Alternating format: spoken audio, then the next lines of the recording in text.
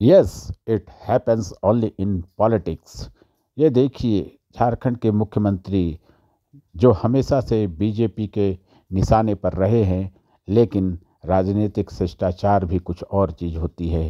मुख्यमंत्री हेमंत सोरेन दिल्ली पहुंचकर भाजपा के राष्ट्रीय अध्यक्ष जेपी नड्डा के सुपुत्र हरीश नड्डा के विवाह पर आयोजित समारोह में हिस्सा लिया और वर वधु को आशीर्वाद दिए। अब यह राजनीतिक शिष्टाचार तो बनता है इसका कुछ और अर्थ नहीं निकालिए।